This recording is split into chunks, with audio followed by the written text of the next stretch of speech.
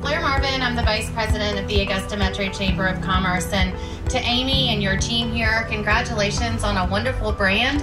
I had the personal pleasure of experiencing it a few years back when it was in the Augusta market. And so when I heard that it was coming to Evans under this new ownership, I was very excited. Um, Good afternoon, everyone. We're uh, at another beautiful afternoon here in uh, Evans.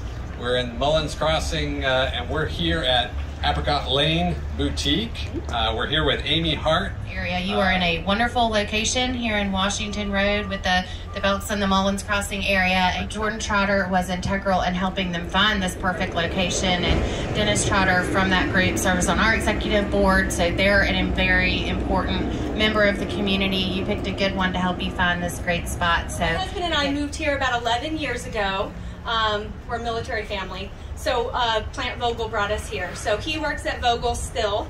And um, so yeah, 11 years and we've just been loving Evans. Haven't wanted to live anywhere else. And what made us decide on Apricot Lane is because it's locally owned and locally run and we can make decisions for purchases and we can decide what we do and don't carry in our own store. So it's a women's boutique. I know there's a lot of kids boutiques in Evans, but this is focused on women. So anywhere from high school up through college, moms, grandmoms, everyone can walk in and find something special for them. It's all things accessories, purses, bags, jewelry, clothing, unique gifts. We, you know, we're looking at high school girls, college girls, moms, older moms, grandmoms. That's kind of wide range. We like to have all women that come in here feel beautiful, feel that they can find something that they love to wear. The corporate world of Apricot Lane focuses a lot on giving back to community and um, underprivileged people in other countries. It's very much about giving back, and that is what touched my heart and made me decide on Apricot Lane as a franchise.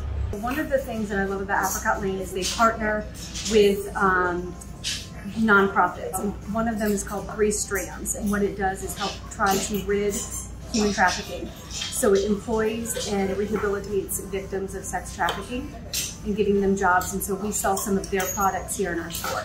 It is a larger franchise. There's multiple stores throughout the country. There's only three in Georgia now, so I'm the third location in Georgia. We just commend you on taking the plunge into entrepreneurship. Um, Amy has already signed up for our Small Business Marketing Academy, so she is ready to hit the ground running. Um, uh, Blair, and, and thank you all for being here. And this is obviously the most exciting part of the day, and, and the, uh, the ceremony is actually cutting the ribbons.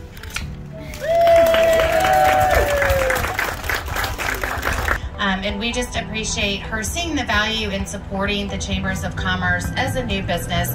We know that for any business, every penny, every dollar counts. And so to make that investment is very uh, meaningful to both of us. And we look forward to supporting you on your journey and watching you grow as a successful business owner. Thank you for your support and congratulations. We celebrate you today. Let's give her a round of applause.